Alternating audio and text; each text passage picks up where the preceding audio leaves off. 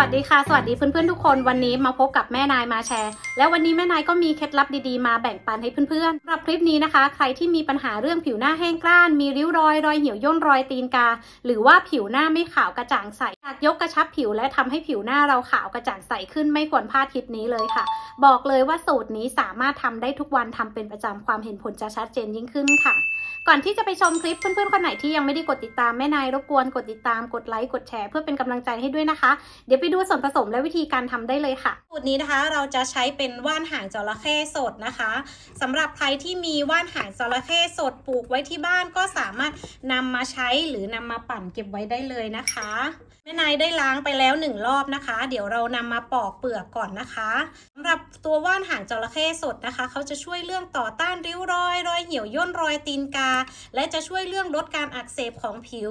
ลดความแห้งกร้านของผิว ใครที่มีฝ้ากระจุดด่างดำหรือว่ารอยสิวนะคะ ตัวว่านหางจระเข้ค่ะ เขาจะค่อยๆ ปรับสภาพผิวเราให้ขาวกระจ่างใสขึ้นอย่างธรรมชาติเลยค่ะ สำหรับใครที่ปลูกว่านหางจระเข้สดไว้นะคะ สามารถขยายพันธุ์ปลูกไว้หลาย ๆ กอได้เลยนะคะ เพราะว่าเขามีประโยชน์ได้ดีมากๆเลยนะคะ สามารถนำมาบำรุงผมบำรุงผิวและสามารถใช้รับประทานได้นะคะ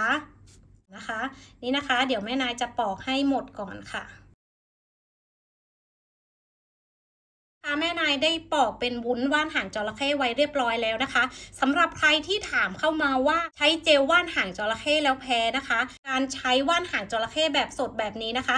แนะนำให้ปอกเปลือกที่สีเขียวออกให้หมดเลยนะคะ และนำไปล้างน้ำก่อนประมาณสัก 1-2 น้ำนะคะ หลังจากนั้นเราค่อยมาปั่นให้ละเอียดนะคะ แล้วนำมาใช้ได้เลยค่ะ เราจะไม่เกิดการแพ้แน่นอนเลยค่ะนะคะ เราล้างเรียบร้อยแล้วนะคะ เดี๋ยวเรานำไปปั่นให้ละเอียดก่อนนะคะ อันนี้นะคะเราปั่นเรียบร้อยแล้วนะคะ หากระปุกมาเก็บไว้ได้เลยนะคะ สามารถเก็บไว้ในตู้เย็นได้เป็น 10 วันเลยนะคะ ปั่นทีนึงเราก็ใช้ได้นานเลยค่ะ นี้ส่วนผสมแรกนะคะ เราจะใช้เป็นแป้งข้าวเจ้านะคะ หรือใครที่จะใช้เป็นแป้งข้าวเหนียวก็ได้ค่ะ ตัวแป้งนะคะเขาจะทำให้ผิวเราขาวกระจ่างใสและนุ่มขึ้นนะคะ เรายังจะช่วยเรื่องกระตุ้นการผลัดเซลล์ผิวเราได้ดีมากๆเลยค่ะทำความสะอาดรูขุมขนเราด้วยนะคะ และเขาจะช่วยเรื่องยกกระชับผิวต่อต้านริ้วรอยรอยเหี่ยวย่นรอยตีนกาได้ดีเช่นกันเลยค่ะสำหรับสูตรนี้นะคะ เราจะใช้แป้งข้าวเจ้า 1 ช้อนโต๊ะนะคะ ตัวเจลว่านหางจระเข้นะคะ สูตรนี้เราจะใช้เจลว่านหางจระเข้ประมาณ 2 ช้อนโต๊ะค่ะ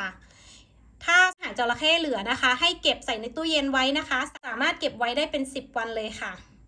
ส่วนผสมต่อไปเราจะใช้เป็นผงกาแฟนะคะ สามารถใช้เป็นผงกาแฟดำแบบนี้นะคะที่ใช้ชงอะคะ่ะ หรือใครที่จะใช้เป็นกาแฟทีนวันก็ได้ค่ะสำหรับผงกาแฟนะคะเขาจะมีสารต่อต้านอนุมูลอิสระช่วยชะลอการเกิดริ้วรอยแห่งวัย และทำให้ผิวเราขาวกระจ่างใสขึ้นนะคะ สูตรนี้เราจะใช้ผงกาแฟ 1 ช้อนชาค่ะ ผสมต่อไปเราจะเติมเป็นวิตามินอ e ีลงไปนะคะสำหรับตัววิตามินอ e ีนะคะ เราจะใช้แค่ 1 แคปซูลเล็ก ๆ เท่านั้นนะคะ เพื่อจะช่วยเรื่องทำให้ผิวเรายืดหยุ่นได้ดี ลดความแห้งกร้านของผิวต่อต้านริ้วรอย รอยเหี่ยวย่นรอยตีนกา และที่สำคัญนะคะ ตัววิตามินอ e ีเขาจะช่วยเรื่องลดเม็ดสีเมลานินเช่นลดฝ้ากระจุดด่างดำได้ดีมากๆเลยค่ะ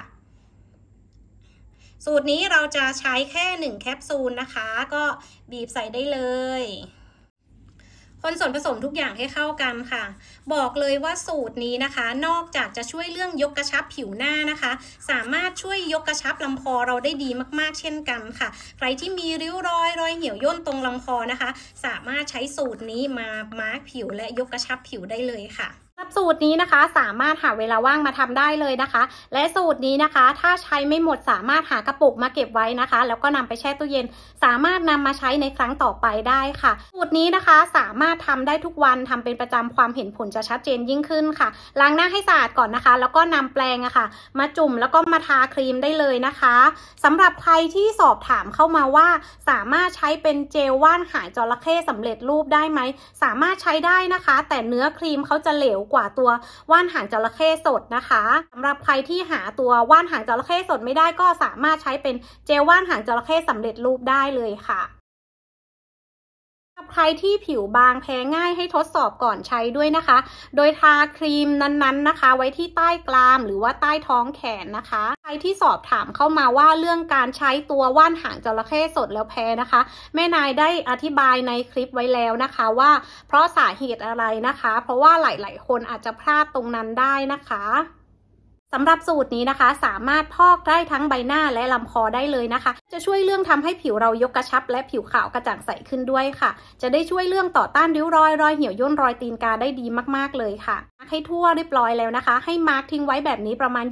20-25 นาทีหลังจากนั้นเราค่อยล้างออกด้วยสบู่หรือโฟมล้างหน้าได้ตามปกติค่ะ และสำหรับสูตรนี้สามารถทำได้ทุกวันความเห็นผลจะชัดเจนยิ่งขึ้นนะคะและ สำหรับคลิปนี้แม่นายหวังว่าคลิปนี้จะมีประโยชน์ต่อเพื่อนๆ ถ้าใครชอบคลิปนี้ก็อย่าลืมกดติดตาม กดไลค์ กดแชร์ เพื่อเป็นกำลังใจให้แม่นายได้ทำคลิปต่อไปด้วยนะคะ สำหรับวันนี้ขอตัวลาไปก่อนค่ะ สวัสดีค่ะ